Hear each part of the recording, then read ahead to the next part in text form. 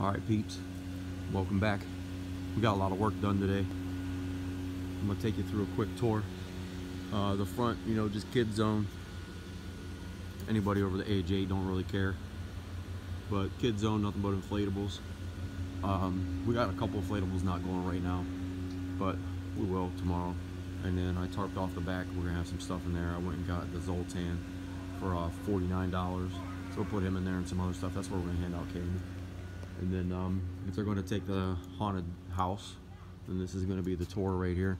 It's gonna start right here at this line. We're gonna have somebody escort them back. We're gonna do it in groups, and they're gonna be categorized one, two, or three on scare levels. So here we go. We're just gonna walk back. This broken light right here. All these lights they're in the middle getting fixed right now. That's why we're doing a dry run right now. So we're gonna come back here. All these fence posts right here, homemade. Got that from the Dollar Tree, some PVC. Paint them black. Do some foam inside to make them stick.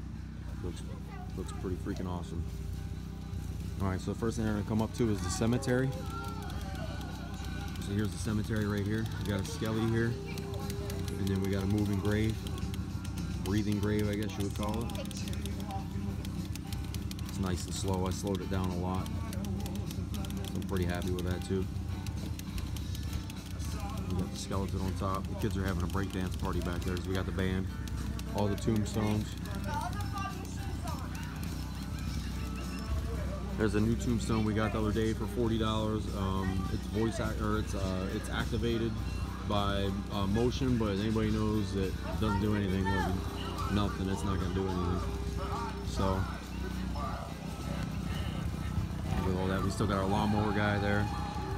Got the fog machine going. It's the ice, so it's keeping it low to the ground. Off in the distance, that's the that's the uh, rock party right there. See if I can zoom in. We got the rock band right there. So they're back there messing around. We got a Halloween playlist on Alexa. Hey, why is Alexa not playing? She is. Okay. So we got Alexa, we got a fog machine back there. We got this skeleton right here in the back that says I love you with a sign. The sign right there says I love you. And um, yeah, all those guys are moving in there. Got the guy dunking the basketball, and we got the swing set right here. Alright.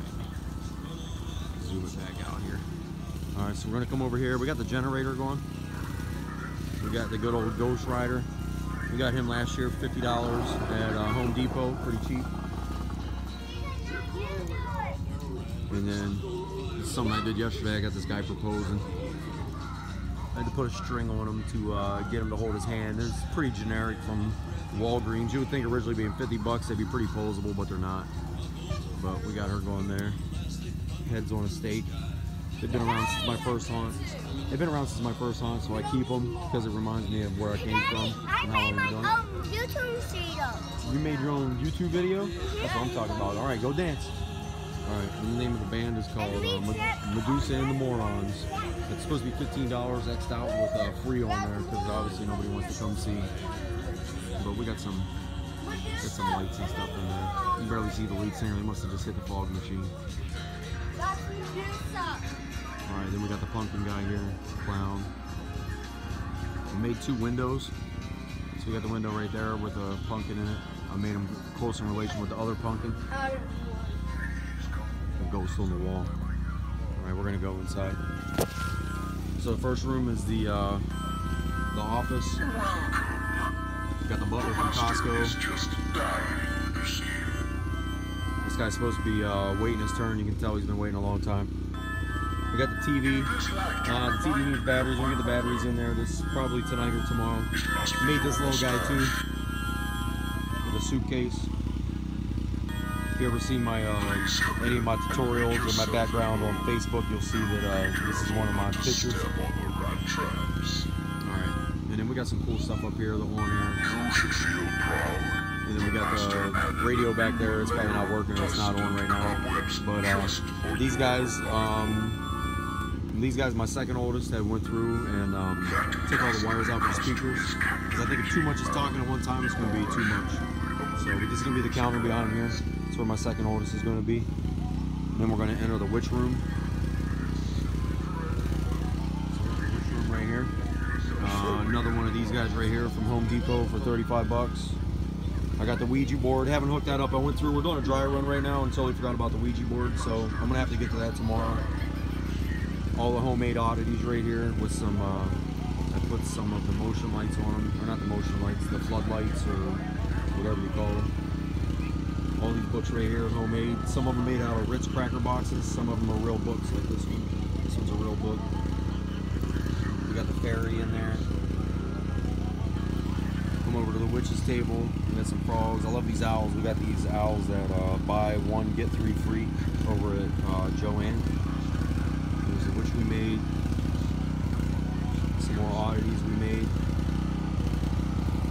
Just a little bit of decor. Probably do a little bit more next year, but it's good enough for now. All right, and then this is the asylum.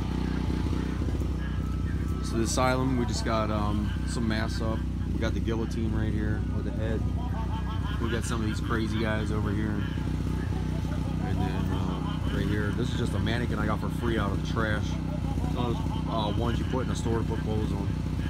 So, and uh, this breaker box I paid 10 bucks yesterday. Batteries are already dead or something's wrong with it. So we got to work on that too. So a couple little things we got to work on here and there. But other than that, everything seems to be running pretty smooth. We just ran out of gas. But we filled up the gas tank and we should be good now on the generator. That's what you hear in the background. So we enter the clown room. I blocked the clown room off. I got this guy climbing out. I'll tell you why everybody wants to get out here in a minute, but uh, we're gonna have, I don't know, we're gonna have a live actor back here. Um, and then um, we got all these guys. Everybody's seen the, the big guy from Spirit, so we'll play him real quick. I don't buy much from Spirit. I probably won't anymore, but I just had to have this guy last year because he's my centerpiece.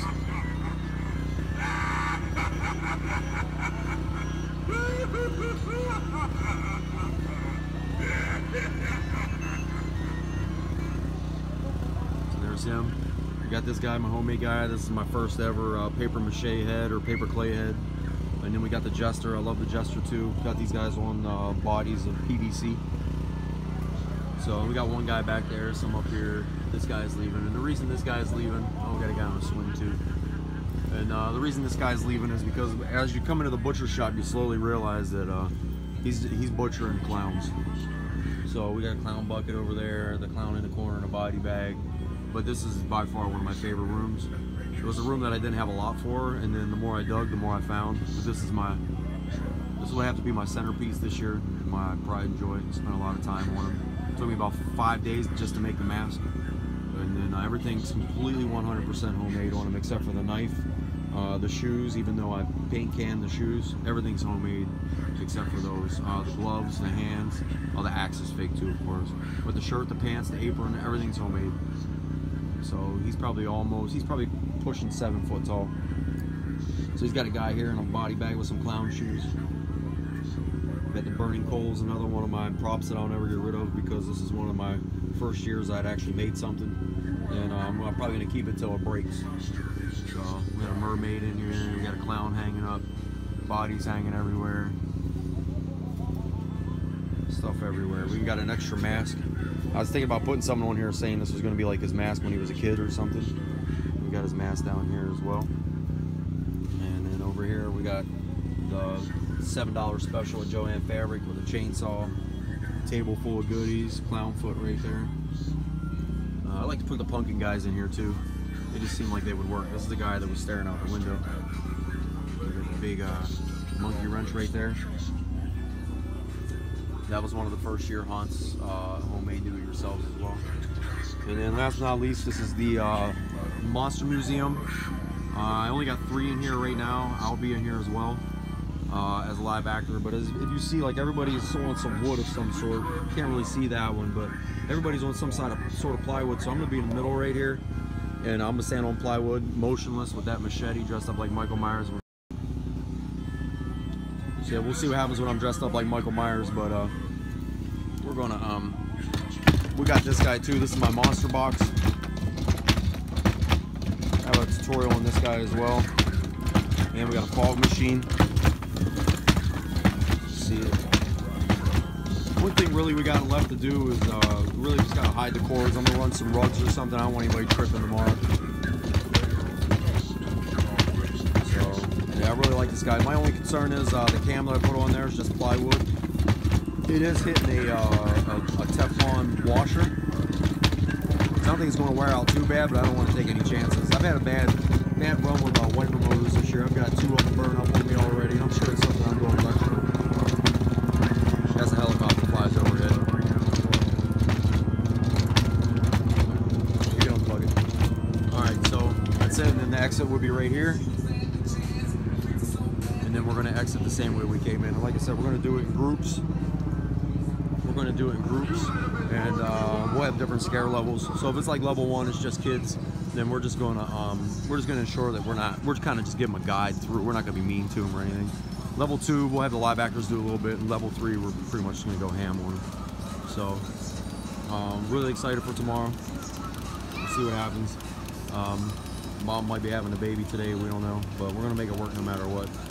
So we'll have some uh, videotape tomorrow of the actual live haunt of everything that's going down and uh, scaring some people. And we'll put some stuff on there. So until then, catch you later.